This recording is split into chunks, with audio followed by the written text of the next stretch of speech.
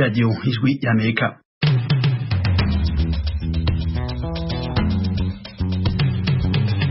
iradiyo ijwi ry'amerika isamirana i washington ndetse mu kirundi mu kinyarwanda muriwe neza nshuti mwese duteramanye muri kumwe na federica nkurikije mu burundi twumvikanira ku mirongo migufi ya shortwave ku metero cumi ku metero mirongo ibiri na zibiri.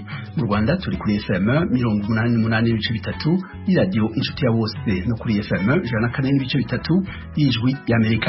bonesha fm imwe mu radiyo yari yarafatiwe ibihano yaronse uburenganzira bwo gusubira gukora. Icya mbere ni uko ari akanyamuneza kenshi cyane rwose kuri twebwe tugiye gusubira gukora. Hama imyaka itanu yari iheze ni myinshi. Ariko ntacu kwihangana baravuga yuko kenshi bitanga ibintu byiza. Uyu ni leon masengo arongoye iradiyo bonesha fm mu rwanda abaganga bakurikiranya hafi indwara ya covid cumi n'icyenda ndetse n'abarwaye iyo ndwara baremeza ko umuti mushasha favipiravir ari ingirakamaro. Ambasaderi waserukiye ubutaliyani mu gihugu cya repubulika demokarasi ya kongo yishwe mu gitero bitwaje ibigwanisho. Muri icyo gihugu kandi amashuri yongeye kugurwa inyuma y'amezi abiri yaramaze afunzwe kubera ikiza covid cumi n'icyenda amakuru avugwa hirya no hino ku isi yatanguriye muri repubulika ya demokarasi ya kongo aho ambasaderi w'Ubutaliyano muri ico gihugu yishwe n'inkuru dushikirizwa na thomas kamirindi mu itangazo rigufi yashyize ahagaragara minisiteri y'ububanyi n'amahanga y'ubutaliyani ivuga ko ambasaderi luka atanasio yaguye mu gico cy'abantu bitwaje imbunda muri teritwari ya nyiragongo hafi y'umujyi wa goma umurwa mukuru w'intara ya kivu ya ruguru mu burasirazuba bwa repubulika ya demokarasi ya kongo. Imodoka yarimo yari kumwe n'izindi za pam ishami ry'umuryango w'abibumbye ryita ku biribwa zagendaga zishoreranye ibyo bita konvoi mu gifaransa. Yari ambasaderi i kinshasa kuva mu bihumbi bibiri na cumi na karindwi. Uretse ambasaderi atanasio ubutaliyani buvuga ko n'umusirikare wabwo umwe yaguye muri iki gico. Yari mu bashinzwe umutekano w'abari muri izi modoka by'umwihariko wa ambasaderi atanasio. Umushoferi wari utwaye ambasaderi nawe yishwe. Abakomerekeye mu gico bajyanywe mu bitaro bya loni igoma ikigo ntaramakuru reuters cyo mu bwongereza kivuga ko iki gico cyari kigamije gushimuta ambasaderi w'ubutaliyani. Mu mwaka w'ibihumbi bibiri na cumi n'umunani abongereza babiri bashimuswe n'abantu batazwi mu karere ambasaderi atanasio yiciwemo uyu munsi. Urakoze thomas. Ishyirahamwe ritabara imbabare ku isi kwahuje rikene miliyoni zirenga icenda zo gutuza ikiza ca ebola. Casuye kuvugwa mu burengero bw'umugabane wa afurika inkuru dushikirizwa na mugenzi wacu diana ninazwe Mohamed Mukiye atwara iryo shirahamwe ku mugabane wa Afrika yatangaje ko ayo mafaranga akenewe azofasha gukinga ico kiza muri Guinea, Liberia, Cote d'Ivoire, Mali, Senegal na Sierra Leone. muri urwo rutonde rw'ibihugu kwahuje yifuza gukingamwo Ebola aho ico kiza kimaze gushika ni muri Guinea gusa. Yamara uwo mutegetsi hashimangira ko ivyo bihugu vyose bishobora navyo gutandukirwa atagikoze ejo kwa Mungu ni ho Guinea yatangaza ku mugaragaro ko yatewe na Ebola. Abajejwe igisata c'amagara y'abantu muri ico gihugu bemeza ko bane bava mu burere butandukanye ari bamaze guhitanwa n'ico kiza cari carasezerewe kuva mu bihumbi bibiri na cumi na gatandatu. Vyari bitegekanijwe ko ejo kuwa mungu incanco zigera ku bihumbi cumi na kimwe zatanzwe n'ishami rya onu. Ryita amagara y'abantu ku isi oms mu mpfunyapfunyo zishika muri guinea.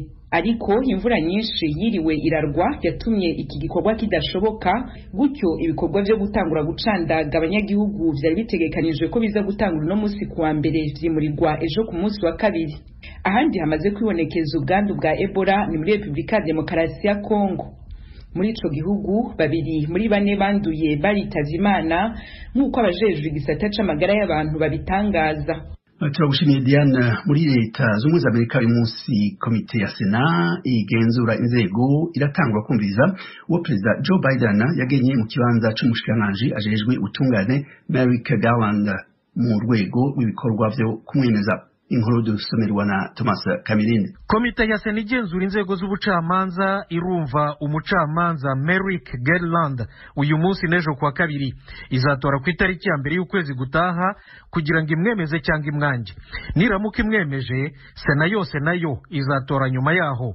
Gerland afite icyizere abademokarate bose uko ari mirongo itanu muri sena baramushyigikiye kandi bamwe mu basenateri bakomeye b'abarepublikani nabo batangiye kuvuga ko bazamuha amajwi yabo. Imiryango iharanira uburenganzira bwa muntu amashyirahamwe y'abapolisi abigeze kuba abacamanza bo ku rwego rw'igihugu barenga mirongo itandatu n'abigeze kuba abategetsi bo hejuru muri minisiteri y'ubutabera barenga ijana na mirongo itanu bo mu mashyaka yombi nabo batangaje ko bamwemera. Bavuga ko ari umugabo ushoboye akazi uzi neza amategeko kandi uyubaha cyane. Merrick Garland afite imyaka mirongo itandatu n'umunani y'amavuko. Yize iby'amategeko muri kaminuza ya Harvard. Muri iki gihe ni perezida w'urukiko rw'ubujurire rwo ku rwego rw'igihugu mu karere k'ubucamanza ka Washington DC urukiko yashyizwemo na perezida Bill Clinton mu gihumbi magana cyenda na mirongo cyenda na karindwi. Garland yamenyekanye cyane mu bihumbi bibiri na cumi na gatandatu ubwo uwari umukuru w'igihugu Barack Obama yamugenaga kugira ngo abe umucamanza mu rukiko rw'ikirenga rwa leta zunze ubumwe za amerika. Ariko icyo gihe abarepublikani bategekaga sena banze kumwumva bavuga ko batabikora mu mwaka w'amatora. Kuri bo gushyira umucamanza mushya mu rukiko rw'ikirenga byagombaga gutegereza umukuru w'igihugu mushya wari gutorwa waje kuba Trump. Garland yategereje iminsi magana abiri na mirongo icyenda n'itatu yose kugera igihe perezida Trump ashyiriyeho undi mucamanza koko? Muri ko murabandanya kumviriza iradiyo ijwi ry'amerika isameranira i washington dc mu kirundi no mu kinyarwanda mu kanya amakuru yo mu karere ka afurika y'ibiyaga binini. Bonesha fm imwe mu radiyo yari yarafatiwe ibihano yaronse uburenganzira bwo gusubira gukora ihawe n'urwego sense rugenzura amaradiyo n'ibinyamakuru mu burundi. Bamwe mu bagize ishyirahamwe ryashinze iyo radiyo bavuga ko uwirongoye ubu masengo yagiriyeho hahonyanzwe amategeko. Inkuru dushikirizwa na Desire Hatungimana umumenyesha makuru w'ijwi ry'Amerika i Kigali mu Rwanda. Leo Masengo arongoye iradiyo bonesha FM yarekuriye kuri uno wa mbere gusubira gukora n'ikigo cy'igihugu kijejwe gucungera uko imenyesha makuru bikora sense. Arashima iyo ngingo ahamenyesha ko bihanganye bihagije akabashimira abafashije bose ahereye ku mukuru w'igihugu. Icya mbere ni uko ari akanyamuneza kenshi cyane rwose. Kuri twebwe tugiye gusubira gukora. Imyaka itanu yari iheze ni myinshi. Ariko ntacu kwihangana. Baravuga yuko kenshi bitanga ibintu byiza.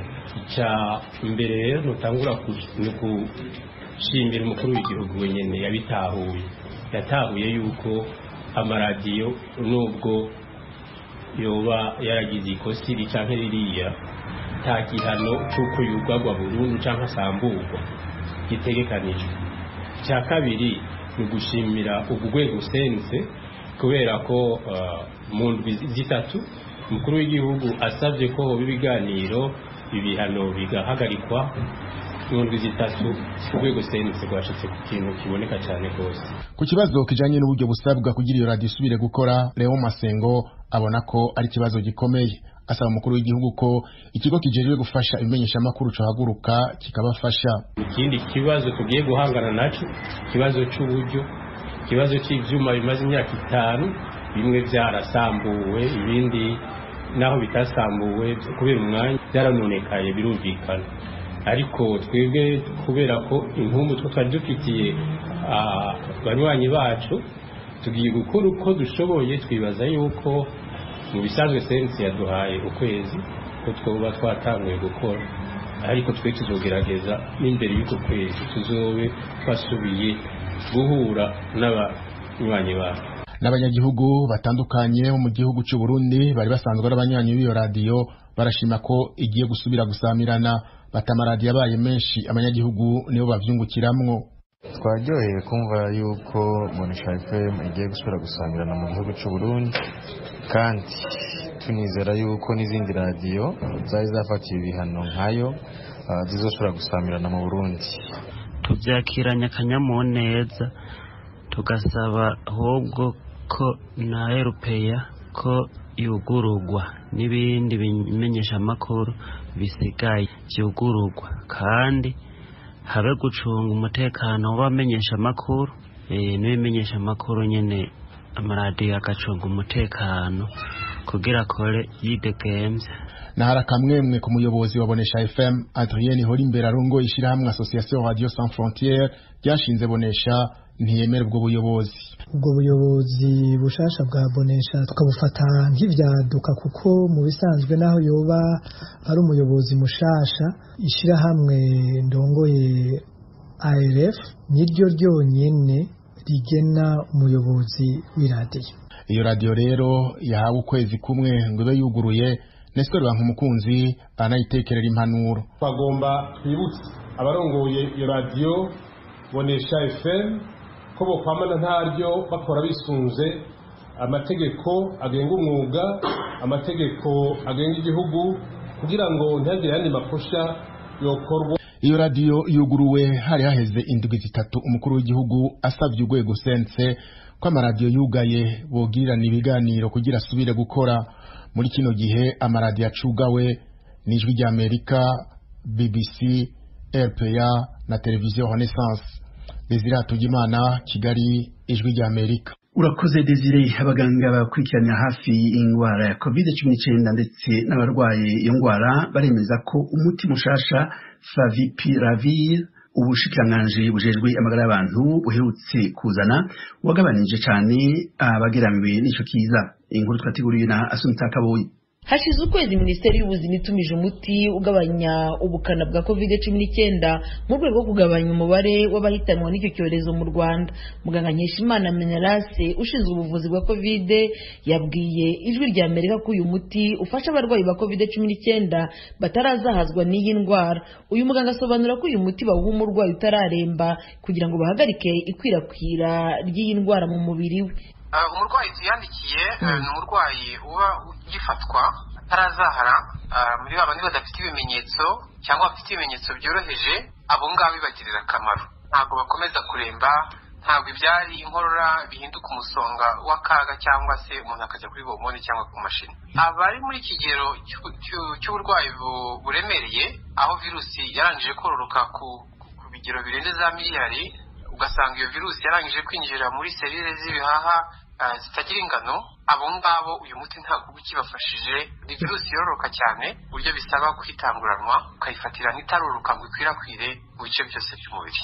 Muganga joel bahoza ukurikirana abarwayi ba covid cumi n'icyenda mu ivuriro ryo mu gatenga agaragaza ko abanduye iyi ndwara bahawe uyu muti hakiri kare bakira mu minsi mike ugereranije na mbere uko byari byifashe. Uwo muti mushyashya rero bazanye urafasha cyane bifasha umubiri kurwanya virusi vuba ugereranyije n'undi muntu utawufasha ibimenyetso bya covid biriya birimo inkorora kubabara mu muhogo kumva wacitse intege umuriro na byo birangira vuba. Ugereranyije n'abandi bantu batawufasha mbere tutarawubona mu rwanda. Ubundi mbere umurwayi gihe moyena yabaga ari iminsi cumi n'ine ariko muri iyi minsi vuba tumaze kubona favipiravir abenshi bataha ku munsi wa gatandatu. Ubu ni ukuvuga ngo abarembaga mugera ku rwego rwo gushyira ku mashini nabo baragabanutse kubera uyu muti.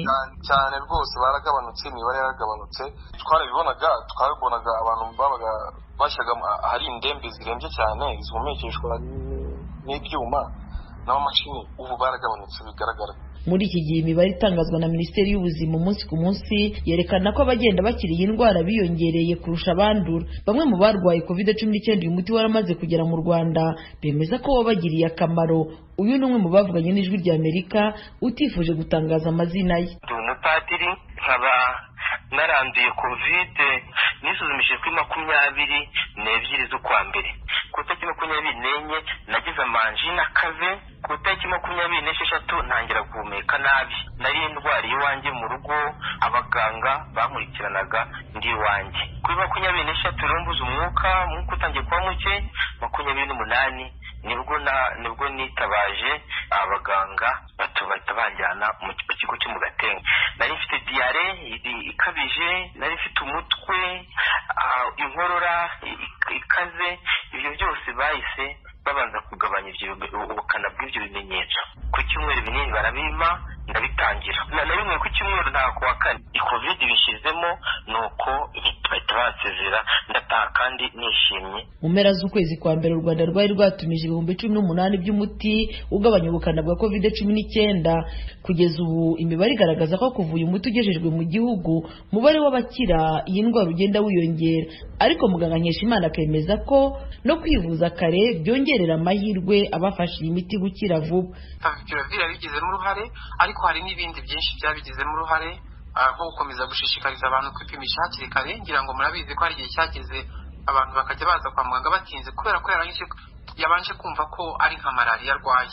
Ariko tukagerageza gushyiramo ingufu mu gusobanurira abantu ko umuriro wa malariya n'umuriro wa covid ntushobora kubitandukanyaho ku giti cyawe. Bitandukanywa gusa n'uko wakoze ikizamini. Ugashyiramo n'uwo muti wongerera abantu icyizere uwo muti utuma abantu bashobora gukiyaringa iyi virusi mu gihe gitoya ni byo bibyara imibare myinshi y'abantu bakira. Imibare iherutse gutangazwa na minisiteri y'ubuzima igaragaza ko abantu ibihumbi cumi n'umunani na mirongo itanu na batatu ari bo bamaze kwandura covid cumi n'icyenda mu gihugu hose. Muri bo abagera ku bihumbi cumi na bitandatu magana inani na batatu bamaze kuyikira magana mirongo ine n'icyenda nibo yahitanye mu gihe igihumbi n'umwe ari bo bakirwaye. Asumta kaboyi ijwi ry'amerika i kigali. Urakoze asumta kuri uwa mbere itariki mirongo ibiri na zibiri z'ukwezi kwa kabiri amashuri yongeye gufungwa muri repubulika ya demokarasi ya kongo. Nyuma y'amezi abiri yari amaze apfunzwe kubera ikiza cya korona ni inkuru y'umumenyeshamakuru w'ijwi ry'amerika vedaste ngabo ari ibuvira byari ibyishimo byinshi ku banyeshuri abarezi ndetse n'ababyeyi kubona amashuri yongera gufungurwa imiryango muri repubulika ya demokarasi ya kongo. Kuri bimwe mu bigo byo muri buvira twagiye tunyuraho. Nko kuri lezanje kuri nuru kuri esiteyi wabonaga bakajeje ingamba zo kwirinda coronavirus zirimo gukaraba intoki ndetse no kwambara udupfukamunwa kuri bamwe mu banyeshuri n'abarezi. Ruremesha cubahiro ni umurezi wigisha ku ishuri rya esiteyi aragaruka kuri zimwe mu ngamba babafashe mu gutangira iki gihembwe cya kabiri. Nyuma y'amezi abiri amashuri yari amaze afunzwe. Uyu munsi kuva saa size taranti za mu gitondo jene nahageze nijoro hageze mbere. Maze kuhagera abana bato bose nahise ntangira guhura nabo kubera ko cyari igihe kirekire bari mu mago kandi bifuzaga gusubira ku mashuri. Nari nahageranye n'abana bose n'abandi bakomeje kuza basanga nyine twashize. Muri kwirinda gute virusi ya korona hano ku ishuri? Kuko leta yashyizeho ingamba twabikoze icya mbere ni uko umwana wese yinjira yategerezwaga kubanza gukaraba amazi yari ateganijwe aho ngaho ndetse n'isabune uretse icyo ngicyo hari abaje deja bafite udupfukamunwa n'abatabizanye bose twababwiye ko ku munsi w'ejo bagomba kuzaza mu masale twagerageje kudisipoza amapipitire neza. Mu bisanzwe hari igihe wasangaga nko kuri pipitire imwe yicayeho abana batatu ariko uyu munsi twagiye tudisipoza mu buryo pipitire yicaraho abana babiri babiri kugira ngo bategerane. Nahimana esperance nawe ni umurezi kuri iki kigo cya esiteyi avuga yuko kuri we ari ibyishimo byinshi kuko bagiye kongera guhembwa. Twashimiye kubera ukuntu amashuri yuguruye kubera nka twebwe twahora twigisha kuri purive ntitwahembwa. Rero turashima ukuntu amashuri yuguruye ikirize yari yatwishe turashimye ukuntu amashuri yuguruye ubu tugiye kongera guhembwa niyo abana bakomeza baza ku ishuri n'ababyeyi bazoriha turizeye ko tuza guhera. Inzu zabomotse turaba n'inge nama yo gupanga na yo kubakisha. Byose byari bitugoye. Bamwe mu babyeyi bo mu mujyi wa Uvira babwijwe ijya Amerika ko ari umunezero mwinshi kuba amashuri yongeye gufungurwa. Ariko bafite impungenge ko hari igihe ashobora gufungwa kuko atari bwo bwa mbere afungurwa akongera agafunga. Kubera virusi ya korona twebwe nk'ababyeyi twishimiye ko amashuri yongeye gufungurwa kuko hari hageze igihe amezi abiri abana badahe biga. Twebwe nk'ababyeyi twari ko tubona ko hari ibibazo bibiri abana bo bayibirara badahe biga icongeyeho kandi bagasubira inyuma. Ariko kuba leta yasubiye kwibuka kandi kuko bashobora gufungura twebwe ababyeyi twese tukabona abana basubiye ku ishuri twabyishimiye cyane. Ariko impungenge gusa tugenda tugira ni uko ubundi bari bafunguye nyuma yabwo barasaba kandi twumva barafunze. Icyizere ntikiraba cyinshi cyangwa ntikiraba cyose kubona kuko bizakomeza. Ko turabona ko kandi ejo bundi bazasaba bagatangaza gufungwa ariko turizera ko ubutegetsi bwacu ari umubyeyi. Nimba akomeje kugira uruhuha n'ubuhahara bw'abana ko bashobora gusubira ku ishuri. Mwamenya yuko amashuri muri kongo yafunzwe tariki ya cumi n'umunani y'ukwezi kwa cumi na kabiri umwaka w'ibihumbi na mirongo ibiri kubera virusi ya korona vedase ngabo ku bwaradiyo ijwi rya amerika ububira mutara kivu y'epfo.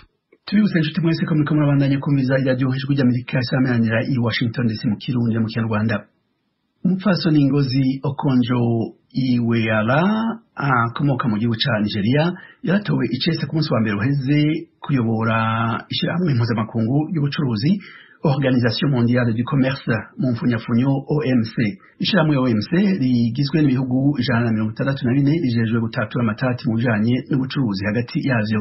Rifise icicaro gikuru i geneve mu gihugu c'ubusuwise abaye umupfasoni wa mbere hamwe n'umunyafurika wa mbere agenywe muri icyo kibanza. Azotangura imirimo yiwe icese ku itariki ya mbere y'ukwezi kwa gatatu utaha mugezi wacu fidele niyongabo yaravuganye n'umushingantahe zeno nicayenzi umuhinga mpanuzwa jambo mu vyerekeye ubutunzi n'iterambere ari i toronto mu gihugu ca canada hamwe na lionel remesha yigisha ivyerekeye ubucuruzi mu makungu muri kaminuza international alliance university. Mu gisagara ca San Diego muri leta ya California muri leta zunze ubumwe za Amerika baravuga ko co igenwa rya Madame Ngozi Okonjo Iweala rivuze. Rivuze ibintu byinshi ni ubutumwa bukomeye butanzwe ku isi muri rusange rutanzwe muri afurika twibukanye ijambo ejo bundi umukuru w'igihugu cy'ubufaransa emmanuel macron yavuze ati akazoza kacu. Iri l'Europe akazoza kacu ni muri afurika iryo nasanze ari ijambo rishasha ari ubutumwa bushasha ukumva umukuru w'igihugu nk'ubufaransa murakizi murabazi agira ati akazoza kacu kari muri afurika avuga ibyo. None heraba umukenyezi w'umunyafurikakazi jewe mbere nahoze agira ngo yitirirwa igisagara cy'ingozi yitwa ngozi. Nagize nti uyu muntu aturuka ingozi. Iwacu nuko iyo ngingo. Murabona ingene ibintu bije kandi bije neza. Igituma avuga ko ari ubutumwa bukomeye. Ni ukuvuga ubu abantu babonye ko ku isi nzima umwirabure avuka ku mwirabure ariko akarenguka bakamugomwa mu makungu. Ibi ni bishasha ku isi ku banyafurika no ku banyafurikakazi. Nawe lionel remesha igenwa ry'umupfasoni mwaryakira gute? Muribona gute rivuze iki? Ego igenwa ry'umufasoni ngozi okonjo iweala ni igenwa ryiza cyane ryaradushimishije cyane rwose kuko nk'uko wabimenyesheje ni uko yaranguye ibikorwa bikomeye cyane aho yaciye hose yaba mu gihugu ciwe cya nigeria canke ku isi yose nko mu banki y'isi yose akazi yakoze eka no muri um, african union yarafashije hamwe n'ubu muri iki kiza ca covid 19 yari mu runani rwitwa gavi uh, rufasha gushikiriza incanco no gufasha kurwanya iyi covid 19 yarimwo muri uru runani rwa gavi hamwe n'ishirahamwe mpuzamakungu y'amagara y'abantu mu mugambi bise covax. Urumva ni umuntu yakoze yaranguye ibintu bikomeye cyane kandi urumva arateye iteka afurika arateye iteka amerika arateye iteka isi yose ku byo yaranguye n'aho ageze n'aho rero ubu igikorwa agiye kurangura cyo kuyobora ishyirahamwe ry'ubucuruzi. Ni umupfasoni wa mbere kandi ni we munyafurika wa mbere ayoboye iryo shyirahamwe umushinga ntazi none icyenzi mubibona gute? N'iyo nsiguro bifise. Insiguro bifise kuri jewe iri genwa ryiwe risigura ibintu bikuru bikuru bibiri. Risigura ko ari igihe cyiza cyo kubona ko ibintu byahindutse byahindutse buhoro buhoro ariko noneho ubu byahindutse rwose. Hariho ku isi yose nzima ibintu byahindutse imigenderanire hagati y'ibihugu bigize isi. Imigenderanire hagati y'abantu bagize isi. Isanamu yahindutse. Ubu isi igiye kurusha uko yahora kuba imwe. Imwe dusangiye imwe ndetse tungana imwe ndetse umuntu kirangiranwa aba kirangiranwa ku cyo amaze yamaze ashobora kumara. Ubu biriko biraboneka ni ubwa mbere bigaragara ku isi yose ni cyo gituma navuze ni ubutumwa bukomeye bigaragara ku isi yose ko ibintu byahindutse abantu bahinduye ibyiyumviro bagiye mu nzira yo kuraba umuntu ntibamwitirire. Urukoba rwiwe arera arirabura mbitemo uburyo kubera ko yera ndekuye kubera ko yirabura. Oya ibintu byahindutse aho byahindutse cyane cyane naha. Ubu batoye uwo mukenyezi umunyafurikakazi kugira ngo bamushinge amabanga akomeye mu gihe kidasanzwe gikomeye. Bagize bati uyu ni we yodufasha kujabuka rubyiroza rwuzuye. Icyo ni cyo bamutoreye. Ni ubutumwa kuri we ni ubutumwa kuri twese ni ubutumwa ku mukenyezi wese wo muri afurika murakoze. Lionel atowe mu gihe hari ibibazo byinshi amakungu ahanganye na byo ikibazo gikuru cyane muri iki gihe si cyo cyonyine mbwa ni cyo cyihutirwa cyane nicyerekeye ikiza cy'umugera wa corona akaba avuga ko agishyize mu hejuru ku isonga ry'ibibazo azotangurira ko bazogerageza gutuma ibihugu bifise uburyo bitigungira ko ivyerekeye incyandago mu gukingira abanyagihugu bavyo mu gihe ibihugu bikenye byotegezwa kurindira. Mu bihe bya vuba biraboneka ko ibihugu bitari bike byagerageje ivyo bihugu bikomakomeye kubuza ko incyandago zikorerwa muri ivyo bihugu zirungikwa hanze y'ivyo bihugu. Ko kazi kazomworohera? Kuko biribonekeza ko ibi bihugu bikomakomeye byashizeho izo ncyandago bishaka kubanza guhera ku banyagihugu babyo ariko waravuga ko abantu bose ku isi badakinga ibihugu byose bitaronse uburyo bwo gukingira abanyagihugu babyo atagihugu na kimwe kizokumva ko gifite amahoro bijanye na covid cumi n'icyenda. Mubivuga ko egome aje gutwara mu gihe kitoroshe kuko ashitse uh, iyo n'iki kiza ca covid 19 kimaze uh, umwaka kisasika inganda kuva gitanguye urabona iki kiza ca covid ubu kimaze kugera ku bantu barenga miliyoni ijana n'icenda ku isi bamaze kwandukirwa n'iyo ndwara ya covid kikaba kimaze gusasika inganda zitari zike mu bihugu byinshi urumva ikintu giteye intambamyi ni uko ubu ibihugu byose biriko biragerageza ukungene bogerageza ku kwikingira no kurwanya iciro kiza ca covid. Iciza ni uko hariho incanco nyinshi uh, ziriko zirigwa ariko hariho izimaze kwemererwa uh, nk'iza Pfizer uh, BioNTech hamwe n'iya Moderna. Izo ncanco rero bakaba bamaze gutangura kuzitanga nko ngaha muri amerika hariho uh, n'izindi ncanco ziriko ziratangwa mu bindi bihugu na zone. Urumva muri ico gihe ikigoye ni uko ibi vy'incanco ikintu gikomeye ni uko uravye nko ku bitigiri. Hariho ibitigiri vyinshi cane cane nk'ibihugu bikiri mu nzira y'amajambere ibihugu cane cane nko muri afurika uh, uravye ibitigiri vyaho vyashikirijwe canke bigishikirizwa ibitigiri vya covid 19 vyashikirijwe vyari bike ugereranya n'ivyo muri amerika canke muri uh, europe.